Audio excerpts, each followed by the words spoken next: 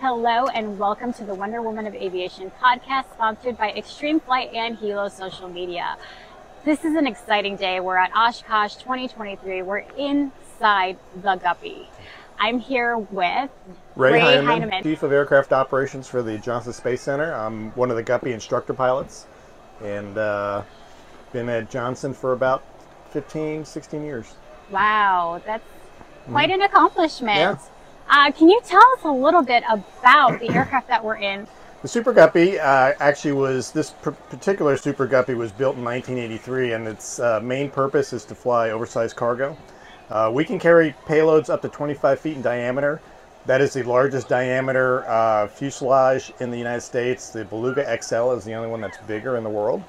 Uh, we carry large objects, but basically aerospace or lightweight objects. So we can carry other aircraft, we can carry spacecraft. Uh, we do a lot of work uh, moving uh, uh, rocket parts around and space capsules. So it's, it's that kind of work. Now, how old, when was this first um, created? So the first Guppy was actually built in 1962, Okay. and it was designed to help NASA with logistics. NASA on the Saturn V had the third stage that was being built in California, and to get it to Marshall Space Flight Center in Alabama for testing, and then to Kennedy Space Center, they had to go by water. So they'd go Oh. down through the Panama Canal, up the Mississippi, down the Tennessee River, and down some other rivers to a dam, basically, and then they'd go overland to the Marshall Space Flight Center, test it, go all the way back around and go down to Mississippi and around Florida to get to KSC. That would take anywhere from 18 to 24 days. Okay. When they started flying it by Guppy, they could actually go it or do the whole thing in about 18 hours. So Wow. it, uh had a tremendous savings on time uh, for testing, uh, and they would carry the uh, upper stage. It was called the S4B uh, for the Saturn V. Wow, that's that's an amazing piece of history. So you mentioned Super Guppy. Were there other Guppies then? Yeah, the very first one was actually called the Pregnant Guppy. Ah, And the story behind that was after the design was created, one of the uh, wives of the one of the guys working on it said it looks like a pregnant guppy. So that's how the name came into being. Uh, but after the pregnant guppy, there was the super guppy. Uh, there was also the mini guppy, the mini guppy turbine, and then this version, the super guppy turbine. this is definitely, I mean, a big aircraft. Can you tell me a little bit more about the logistics of it? How, you know, what is the wingspan? How Mm-hmm. heavy is it? All the, the fun nitty gritty stuff. Uh, max takeoff weight is 170,000 pounds. Uh, max landing weight is 160,000 pounds. Uh, it's uh, roughly 150 feet long and 150 feet wide. You know, roughly. Uh, I think it's 35 or 40 feet tall. Um, we certainly go to a lot of places that have longer runways. Our minimum runway length is 7,000 feet.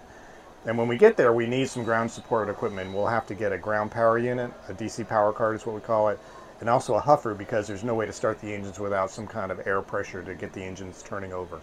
Okay. So there's a lot that goes into it. Um, if we're moving a payload, there are literally weeks and months of design work that go into actually uh, getting the payload ready to uh, install and having the, the chains properly and all the loads t- calculated. This airplane is very interesting because it not only has a longitudinal center of gravity, but it has a vertical center of gravity. So if we take a payload and get it up high to take advantage of the fat part of the fuselage, you have some angle of bank limits. I mean, think of it as a bowling ball on top of something, and as you start to roll, that bowling ball gets too far, there's no way you're coming back. It's going to continue to roll. So we Ah. have to go through all those uh, calculations and risk assessments to make sure we can do the load. Wow, that that's crazy. and fuel, like what is the fuel consumption? Uh, we burn about 5,200 pounds per hour. And if you ask me to convert that to gallons, I'd have to take a minute, but it's roughly, uh, say 700, 800 gallons an hour. Okay. Yeah. That's So for a four engine airplane, that's probably not too bad. We don't go very fast. We uh, plan for 240 knots of ground speed, and our max airspeed is 210 knots, so we don't get anywhere fast. okay. Yeah. That was gonna be the next question. Like Yeah. how fast does the guppy go? Super yeah. guppy. yeah, not very fast. And Okay. And honestly, in the past, before we got our GPSs installed, we would actually carry a road map and follow. I don't want to say IFR or I follow roads, but we would certainly mark on the map uh, where we were because we could tell by the road system where we were. Okay.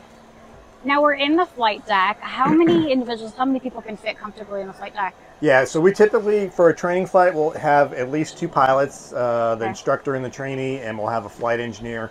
On a mission, we'll have a second flight engineer and typically a load master, and a couple of mechanics. Okay. Um, so the, for the flight crew, three to four, and for the support crew, probably another four people on a normal mission. Um, this airplane, you know, is really a flight engineer airplane. They control the engines, they control the start, the shutdown, all the uh, temperatures and pressures. They're watching all the temperatures on the uh, interior of the aircraft. They're doing all the electrical systems, fuel con- uh, fuel controls, and things like that. All the pilots do is say, set this power setting, and that's how we fly. Okay. Oh, okay. But that's important because there's no boosted flight controls. It's all cable and it's all 1940s technology. So Right. we're actually muscling the airplane around the, the air when we fly. There's Ah. no autopilot, so we typically will trade off every 45 minutes to an hour because you just get tired. That, that was going to be my next Yeah. question. What's the most interesting fact about the Super Guppy? Yeah. Those things, you know, certainly flying it is a challenge. A crosswind is a challenge because of the side area. Um, it not only pushes you off the runway, but weathercocks you into the wind. So uh, a cross and landing in this airplane is, is quite an adventure at times. Excuse me. But, uh, you know, there's a lot of intricacies. There's a lot of little things that go on that, you know, to me is kind of commonplace, but uh, maybe from a GA or another world, it might seem kind of silly. I don't know. To me, it looks like we're definitely in a spaceship. There's just so many buttons, but that's just I mean, that's a- how my mind thinks. yeah, it's all manual trim. There's big trim Yep. wheels for pitch and roll and yaw right here. Okay. Uh, like I said, the throttles are operated by the flight or engineer. Uh, the only time the pilots touch them uh, is on landing and going into reverse. Okay. The airplane lands in a very much a three point or even a nose down attitude. Okay. Um, when you're flying it, and you even go back to flight idle, the engines are still producing thrust, and therefore the wing is still producing lift. So a lot of times you'll see the, the wheels up, uh, you know, six inches or a foot off the ground while the nose gear is actually touching down. But as soon as they get the throttles back to kind of a flat pitch or even a reverse pitch, the back end settles down, and now you're just going down the runway. Wow, this is this is a pretty amazing aircraft. Um, definitely something that I never thought I would get a chance to get into. So thank you for taking the time. Sure. One last question. Um, so you did mention Saturn V. What is the main mission of the Guppy now? So we're still supporting human spaceflight. Uh, we are doing a lot of missions in support of the Artemis program. Uh, Artemis 1, for example, went to the moon just last November, December.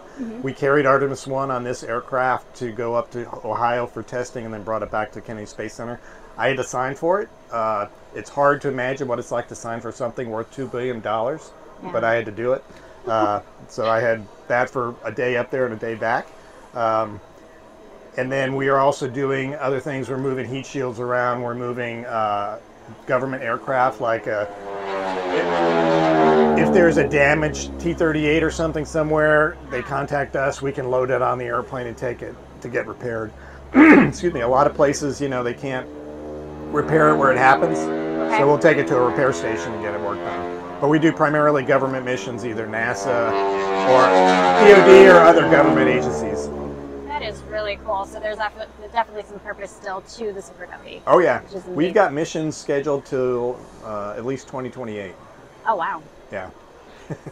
So uh, I see the air show has started, so we're going to kind of wind things down. Okay. Where can find, people find information about the? Super We, if you want to do a web search, we have a public web page, and uh, the address es- escapes me right now. But certainly, if you put NASA Super Guppy in there, our page can come up, and you can find out a lot more about it. Awesome. Well, thank you. Thank you for being on the Wonder Women of Aviation. There's the air show.